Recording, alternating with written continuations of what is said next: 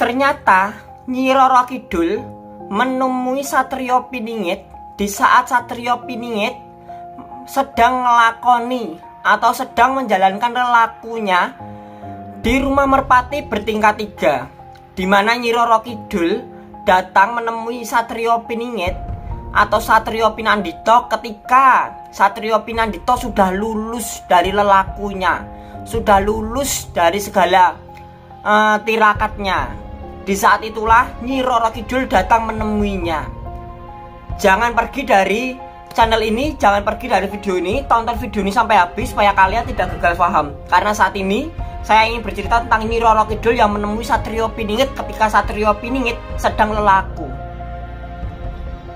Ternyata di saat Satrio Piningit atau Satrio Pinandito dipilih oleh Sang Maha Kuasa untuk menjadi Satrio pilihan akan menjadi atau menjalankan tugas sebagai seorang Ratu Adil. Ternyata saat kelulusan Satrio Piningit atau Satrio Pinandito ini, Nyi Roro Kidul datang ke tempat Satrio Piningit di mana Satrio Piningit sedang melakoni atau lelaku di rumah merpati bertingkat tiga. Di situ Nyi Roro Kidul datang menghampiri Satrio Piningit.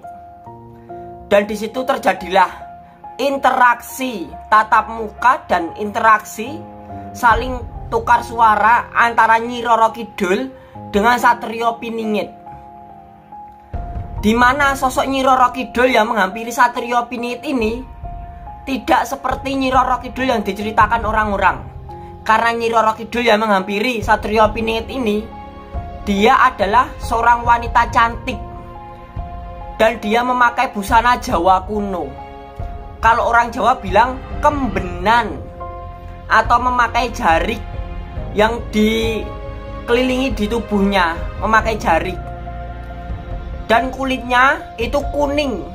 Kulitnya kuning dia tidak berdandan atau netral, tidak memakai perawatan apa pun.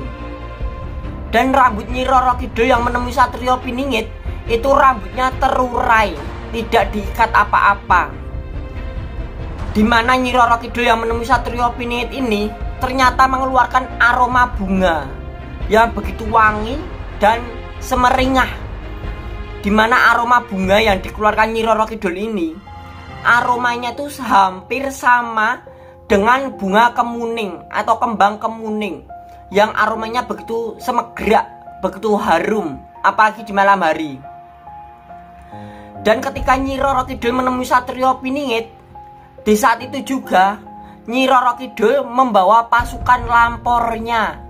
Ada pasukan lampor yang menampakkan diri, menampakkan wujud di hadapan Satrio Piningit di mana pasukan lampor itu juga mengucapkan kata selamat kepada Satrio Piningit karena Satrio Piningit sudah lulus atau lolos dari meditasinya, dari lelakunya, dari pertapaannya.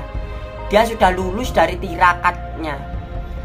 Di mana Nyi Roro Kidul ini, ternyata Nyi Roro Kidul yang menemui Satrio Piningit, dia menggunakan bahasa Indonesia malah tidak menggunakan bahasa Jawa. Apa mungkin Nyi Roro Kidul itu tahu ya kalau Satrio Piningit yang sekarang hadir di dunia itu masih kecil pemahaman Jawanya belum seberapa. Jadi aku tak pakai bahasa Indonesia saja. Apa mungkin Nyi Roro Kidulnya tahu ya? Karena saat berinteraksi dengan Satrio Piningit Nyi Roro Kidul menggunakan bahasa Indonesia tidak menggunakan bahasa Jawa.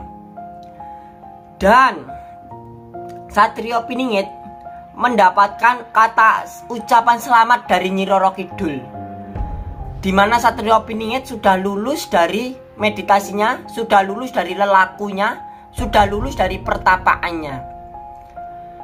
Lalu lalu Nyi Roro Kidul itu juga ternyuh, juga seneng, juga ikut merasakan kesenangan atas kelulusan dari Satrio Piningit dan tinggallah Satrio Piningit untuk menjalankan tugas sucinya tugas dari Sang Maha Kuasa di mana Satrio Piningit akan menjalankan tugas menjalankan tujuan untuk menghancurkan dunia kegelapan ini dan mengembalikan kejayaan Nusantara.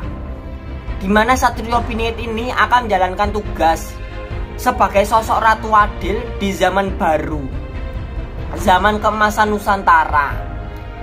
Dan Nyi Roro Kidul akan membantu Satrio Piningit di saat Satrio Piningit sedang kesusahan di saat Satrio Piningit belum bisa apa-apa karena di zaman sekarang Satrio Piningit masih menjadi manusia biasa karena kesaktiannya, karena kekuatannya untuk sementara waktu dihilangkan darinya. Dan akan tiba saatnya nanti segala kekuatannya akan kembali lagi. Walaupun Satrio Pinit bisa menggunakan kekuatannya, bisa menggunakan kesaktiannya, tapi tidak bisa maksimal, tidak bisa sepenuhnya, tidak bisa powerful. Karena sebagian besar kekuatan Satrio Pinit dipergunakan untuk menjalankan tugas utama dia.